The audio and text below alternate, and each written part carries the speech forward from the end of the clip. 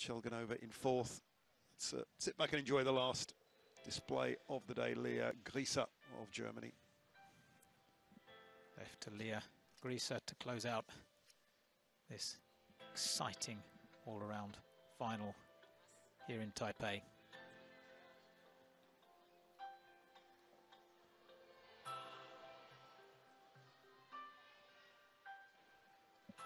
Nice double somersault opener.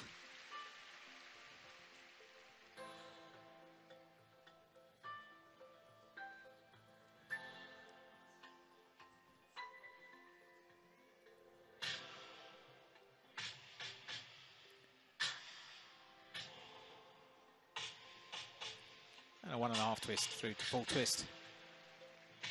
Combination tumble.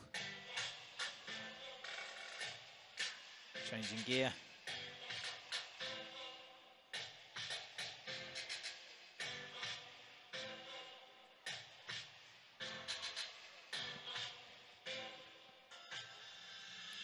Very good form in that two and a half twist.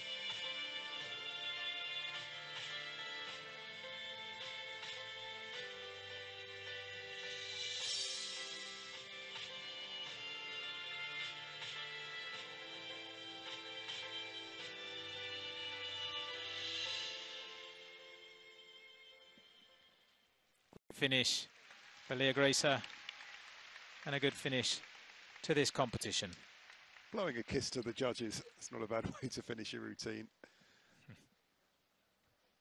Just wait for that uh, score, but I can confirm Iordache, Teramoto and Black, the top three, with uh, quite a considerable distance between those three, so no uh, real complaints, I think, about that. And what a story for Larisa your Iordache.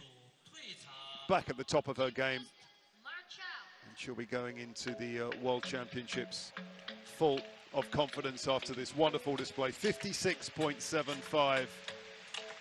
And the golden girl of Romanian gymnastics was there for the 2012 Olympics. Injured for 2016, wasn't really fit enough to be anything more than an alternate. And uh, it's a really wonderful story. Had so many injury problems. A determined display at the end. How would you sum up her four apparatus today, Iordache? Well, she's a superb lesson in never give up. Going to 2012, missing out on 2016, maybe we're going to see her finish her story in 2020. Wonderful performance today. A little difficult on beam. Took a fall with a packed difficulty routine, but managed to recover with a fantastic floor exercise to come top of the pile, 56.75. Great score.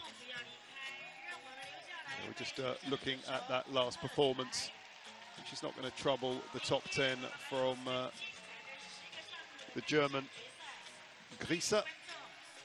Incidentally, uh, got the result quite through. It's just come through, 13.05. She's finishing in the top 10. She's 10th. And uh, on a decent day for Germany, there's the details. It was Iordache who's just uh, marched off the arena a few minutes ago. She'll be absolutely